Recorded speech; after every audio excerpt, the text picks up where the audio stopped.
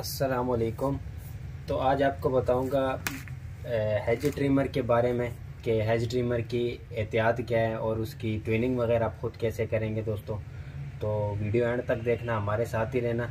इसकी कंप्लीट तफसीलात इंशाल्लाह आपको देंगे, ताकि आपको कोई मसला मिसाल ना पेश आए। ठीक है दोस्तों?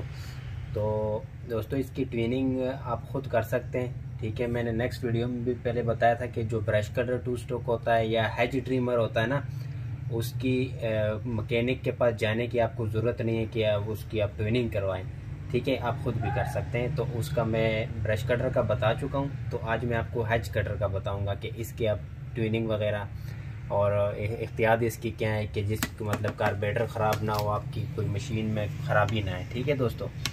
तो सबसे पहले मैं बात करूँगा ट्विनिंग के बारे में। तो दोस्तों, सबसे पहले जब आप इसको खोलेंगे ना तो ट्विनिंग के लिए तो आपने जो है ना, आपके पास एक होना चाहिए ब्रश ठीक है? छोटा सा जो रंग वाला ब्रश होता है, वो होना चाहिए। और अगर मिट्टी का तेल है तो ठीक है, नहीं तो पेट्रोल से भी काम चल जाएगा, ठीक है?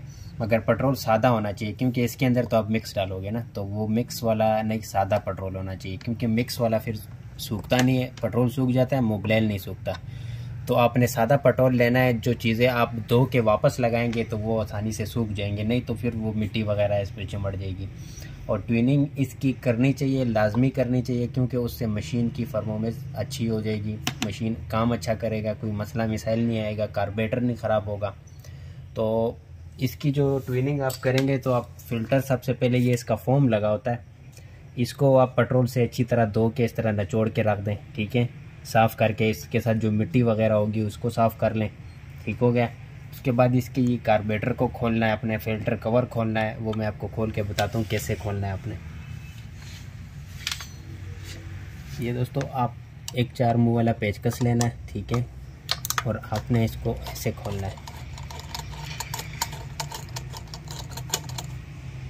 ठीक हो गया?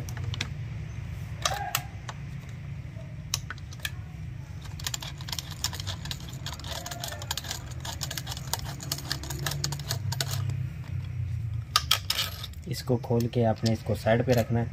ठीक है दोस्तों? उसके बाद ये कार्बोरेटर आपने उतारना है। इसकी ये रेस आप ऐसे करेंगे तो ये ये आराम से उतर जाएगी। ठीक है? फिर आपने ये वाले पाइप उतारने हैं दोनों।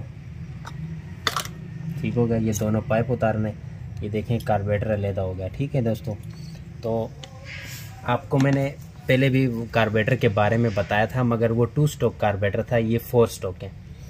बरल कार्बेटर की जो ट्विनिंग है और सफ़ाई है, वो तकरीबन सेम ही है। चाहे वो टू स्टोक हो, चाहे वो फोर स्टोक हो, वो आपको मैंने बताया कि आप इसको अच्छी तरह यहाँ से धो लें, ठीक है? और इसको साफ़ करके आप वापस लगा लें। इसको खोलने की ज़रूरत नहीं है, ठीक है? जब कार्बेटर ख़राब हो जाए तो आप इसको खोल सकते हैं, वो मैंने आपको वीडियो में बताया था, ठीक है? तो इसको धो के यहाँ पे आप एक उंगली यहाँ पे रखेंगे, एक उंगली यहाँ पे रखेंगे, ताकि कचरा वगैरह अंदर ना चला जाए। इसको अच्छी तरह धो के साफ़ करके, ठीक है? फिर इसको साइड पे रहते हैं। उसके बाद दोस्तों, इसके ना अंदर फ़िल्टर होता है, ठीक है? जो कि कचरा वगैरह कारपेटर के अंदर मतलब ना जाए, उसके लिए एक फ़िल्टर लगा होता है। तो वो फ़िल्टर आप ना इसी तरह ये रबड़ के साथ ये उतारें, दोनों पाइप ठीक है, मैं आपको उतार के दिखाता हूँ।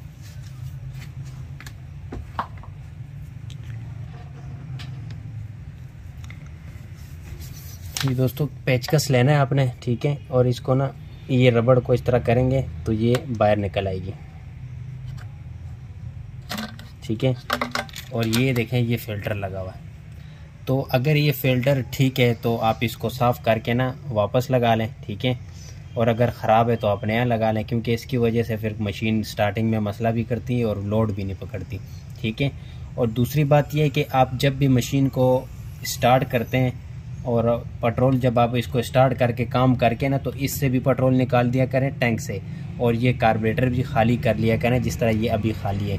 तो उससे ना आपकी कार्बोरेटर की जो मतलब लाइफ होगी, वो बढ़ेगी और कार्बोरेटर आपका ख़राब नहीं होगा। क्योंकि ये होता मिक्स पेट्रोल है तो इसकी वजह से कार्बोरेटर के डायफ्राम भी सुखड़ जाएँगे, ख़राब हो जाएँगे। और ये फ्यूल टैंक जो है, ये भी क्रैक हो सकता है। ये पाइप भी आपके हार्ड हो जाएँगे। तो बेहतर यही है कि आपने अगर इसको स्टोर करना है महीने के लिए या पंद्रह बीस दिन के लिए तो आप इसको खाली करके रखें, ठीक है? अगर आप डेली के डेली करेंगे तो इन आपको कार्बेटर की मतलब इस तरह का कोई मसला, मिसाइल कार्बोरेटर के इशू में नहीं आएगा, ठीक है? तो फ़िल्टर जो है ना, वो आप चेक कर लें अगर ठीक है तो यही लगा रहने दें, अगर ख़राब है तो अपने यहाँ लगा लें।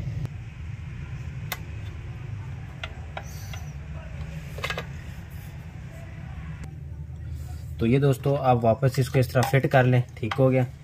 उसके बाद आपने इसका स्पार्किंग प्लग खोलना है। इसको आप खोलें और ये प्लग पाना आपके पास होगा।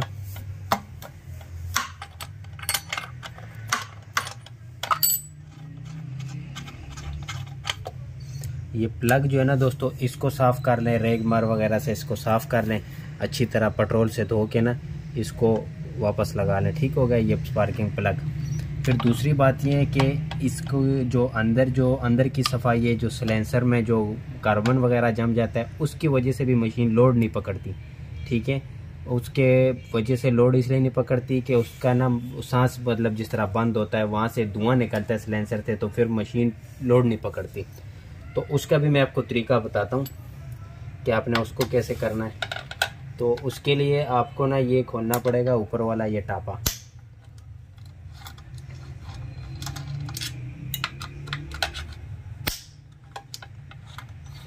दोस्तों, हमारे पास ना गार्डनिंग टूल्स होता है सारा कंप्लीट नान मोअर वगैरह ब्रश कटर चैनसा हर किस्म की क्वालिटी आपको इंशाल्लाह मिलेगी मुनासिब रेट पे। और ये हैज़ कटर का स्पेयर पार्ट भी हमारे पास होता है, मुकम्मल कंप्लीट कार्बोरेटर वगैरह, रिंग पिस्टम वगैरह हम रिपेयरिंग भी खुद करते हैं, ठीक है? तो आपको इन मज़ीद बताएँगे मालूम भी देंगे, ताकि आप ख़ुद भी कर सकें। कोई इमरजेंसी में आप ख़ुद भी इसका काम कर सकें।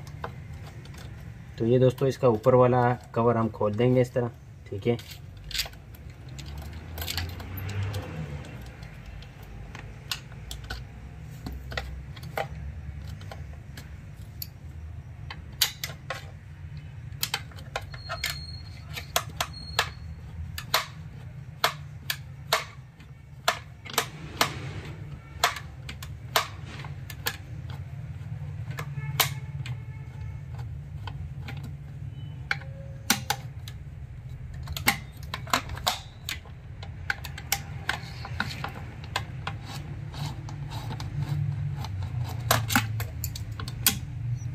ये दोस्तों इसका ये हमने उतार दिया है। ये मेटल का है। इसकी हैज़ कटर की जो क्वालिटी है वो काफ़ी अच्छी है। प्रेशर के केस की ठीक है? तो ये दोस्तों इसकी कोयल लगी है। ये मैग्नेट व्हील है ठीक है? तो इसको भी आप साफ़ कर लें। इसकी कोयल को भी आप साफ़ कर लें। उससे ये होगी कि स्टार्टिंग मशीन की काफ़ी ईजी हो जाएगी और, और स्टार्टिंग बहुत अच्छी इसकी हो जाएगी। ठीक हो गया? तो अभी मैं आपको इसको जो है ना ये वाला जो इसके साइड पे ये लगा होता है पेच इसको खोलता हूँ। ये काफ़ी मुश्किल होता है ये वाला पेच क्योंकि यहाँ पे पेचकस आसानी से नहीं पड़ता। हम लगो सुरक्षा बहनी।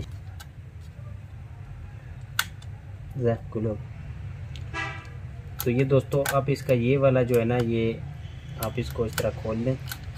ठीक है, ये वाला नट। कोई छोटा सा पेचकस लेंगे, उससे ये खुल जाएगा। क्योंकि बड़े पेचकस यहाँ पे पड़ेगा नहीं, जगह नहीं है इसकी।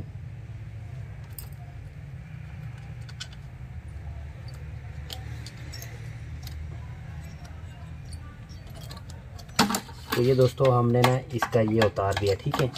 इसको भी अब अच्छी तरह धो ले, साफ़ कर ले। सारी चीज़ें अब जो उतारेंगे, उसको अच्छी तरह साफ़ करनी है आपने। उसके बाद ये सिलेंसर है दोस्तों तो इसको आपने कैसे खोलना है? इसको भी आपने ऐसे करना है। ठीक है।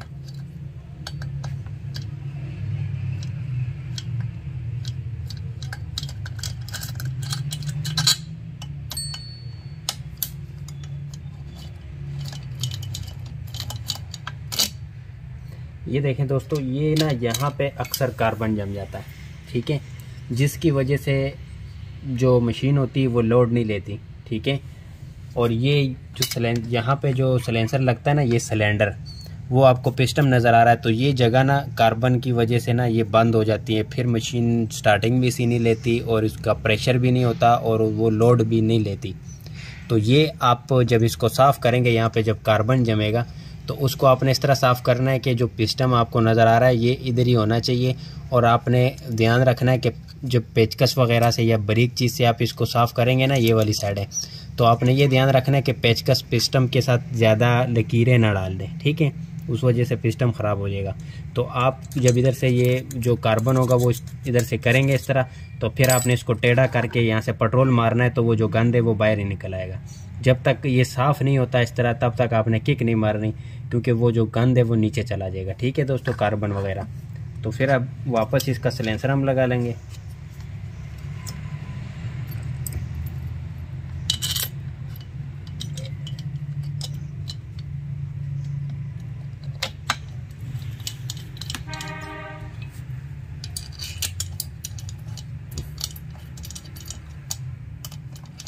और आपको दोस्तों कोई मशीन भी चाहिए होती है तो इंशाल्लाह आपको ऑनलाइन भी मशीन मिल सकती है।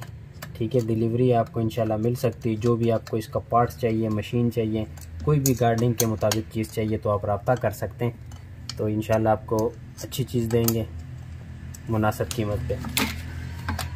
और ये हम इसका ये वापस लगा लेंगे, ठीक है, कवर।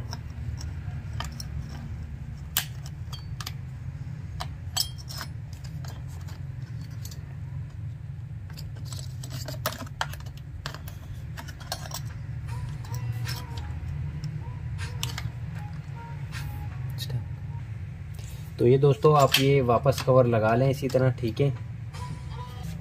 तो ये दोस्तों इसका कवर ऐसे लगा लें, ठीक है? जैसे तरह आप चीज़ें उतारते हैं, वापस भी आपने उसी तरह लगाना है। ठीक हो गया? तो ये हम इसका कवर लगा लेंगे। ये कवर जब आप बैठाते हो तो किक को आप खींचोगे ना तो ये कवर बैठ जाएगा। ये देखें, ये बैठ गया, ठीक है?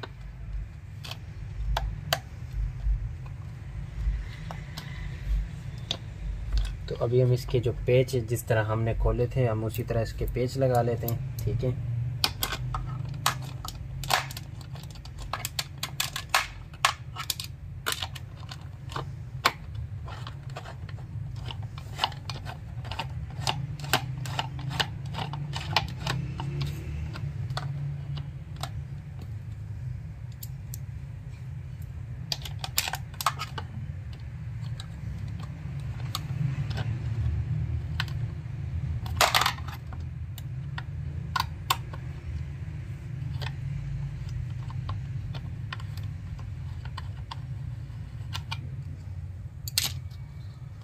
ये दोस्तों, इसका पेच लग गए ठीक है साइड वाले अभी हम इसके ऊपर वो जो टापे के पेच है, वो लगाएँगे।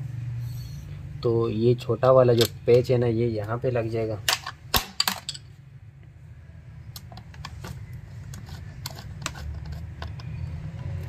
दोस्तों, अगर आपकी जो है ना, कोई चीज़ आपको समझ में नहीं आती तो फिर आप हमसे पूछ सकते हैं इसके बारे में, ठीक है? ताकि आपको, इंशाल्लाह, उम्मीद है कि आपको ये कि समझ आ जाएगी, अगर फिर भी नहीं आती तो आप पूछ सकते हैं। ठीक है? कोई परेशानी वाली बात नहीं है।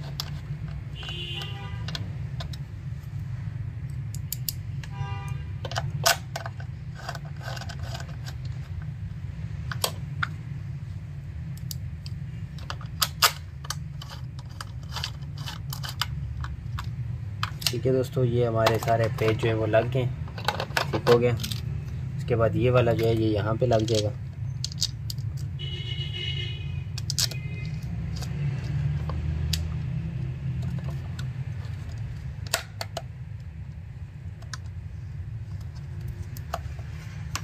अभी हम वापस जो इसको उल्टा करेंगे, यहाँ पे जो हमने पेच लगाना था दोस्तों, वो भी हम लगाएँगे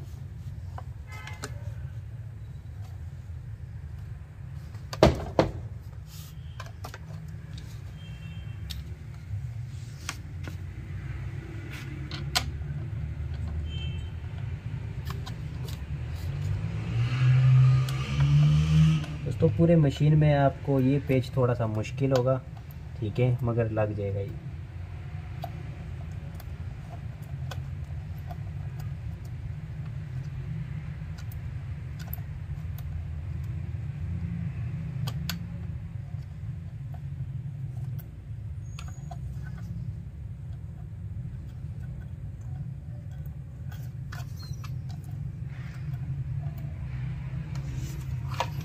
दोस्तों, ये पेज भी लग गया, ठीक है? ये एल की बोल्ड यहाँ पे लगा लेंगे।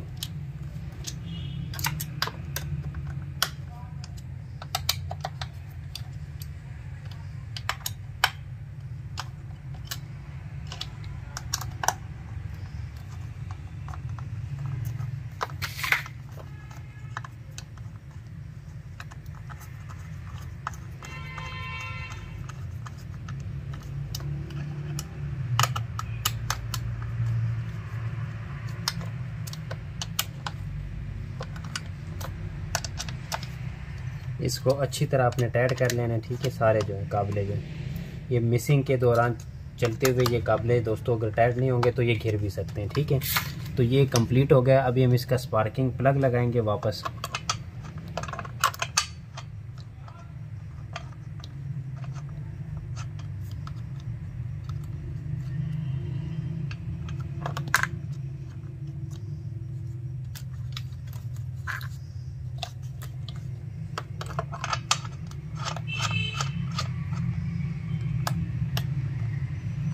ये दोस्तों स्पार्किंग प्लग लग गया है, ठीक है? इसको अच्छी तरह टाइट कर लेंगे। इसकी कोयल जो तार है, ये लगा लेंगे। ठीक हो गया। अभी हम इसका कार्बेटर लगाएँगे तो सबसे पहले आपने कार्बेटर लगाने से पहले ये तार लगा लेनी है, क्योंकि बाद में मुश्किल से लगेगी।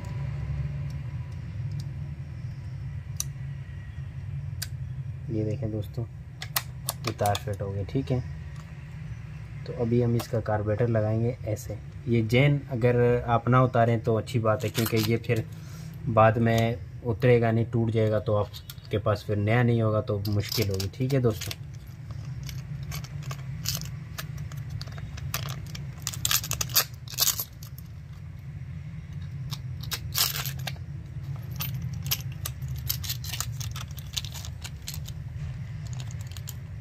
दोस्तों, जो एक कवर वाली जो है ना, ये वाली साइड ऊपर आएगी, चौक वाली। ठीक है, आप इसको उल्टा लगाएँगे तो फिर चौक नीचे चली जाएगी। आपने इसको सीधा लगाना है।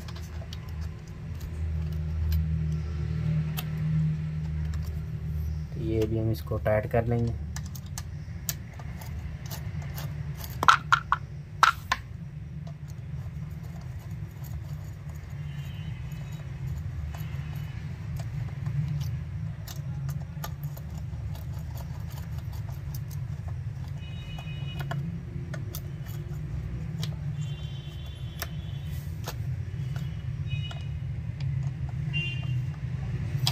ये दोस्तों टाइट हो गया, ठीक है।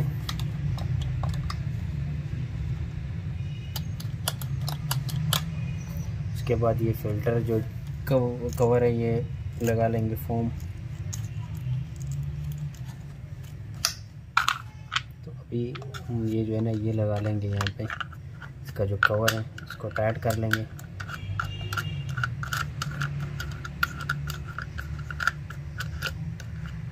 ठीक है दोस्तों ये दो पाइप है, ये भी आपने इसी तरह लगा लेने, ठीक है?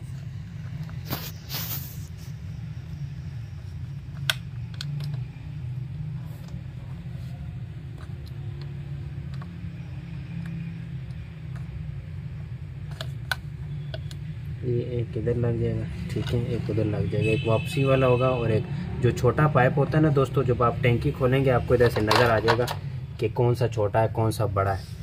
जो छोटा होगा वो वापसी वाले पे लगेगा और जो बड़ा होगा ना वो आपके इसक करने वाली जगह पे लगेगा। ठीक है? तो दोस्तों, ये थी हैज़ कटर की कंप्लीट जो सर्विस ट्विनिंग है जो आप खुद कर सकते हैं। ठीक है? जिसकी वजह से आपको मतलब मुश्किल पेश नहीं आएगा और आप खुद भी इसको कर सकते हैं। ठीक हो गया? तो इसके तरीका जो है ना, ये आप करेंगे तो इनशाला ना आपका कार्बेटर ख़राब होगा, ना इंजन की मतलब पावर कम होगी और ना ही मशीन जो है ना वो जल्दी ख़राब होगी और ना ही इंशाल्लाह आपको मकैनिक के पास जाने की ज़रूरत होगी। और ये दोस्तों इसके ब्लेड और गेयर के बारे में है ना तो ब्लेड जो होता है उसको आपने मोबाइल देना चलाने से पहले ताकि इसको जंग वगैरह ना लगे, ठीक है? और दूसरी बात जो इसका गेयर है तो ये दोस्तों गेयर ना यहाँ पे आप खोलेंगे इसको, यहाँ पे आपने ग्रीस देना है, ठीक है? ये गेयर है, यहाँ पे आपने ग्रीस देना है दो महीनों के बाद, तीन महीनों के बाद यहाँ पे आपने ग्रीस लाजमी देना ये ब्लेड और जो गेयर है, ये उसकी मतलब आपकी जो है ना मेंटेनेंस में आ जाएगा, ठीक है? और ये जो बाकी जो रेस वगैरह वो मैंने आपको बता दिया सारा कुछ। तो इन मज़ीद आपको बताऊँगा नेक्स्ट वीडियो में इसके उसके सिलेंडर के बारे में बताऊँगा कि आप रिंग पिस्टम कैसे चेक कर सकते हैं, कैसे ख़ुद इंस्टॉल कर सकेंगे। और कोयल के बारे में बताऊँगा, ठीक है दोस्तों? तो अब तक के लिए इतना ही। दुआओं में याद रखना। शुक्रिया।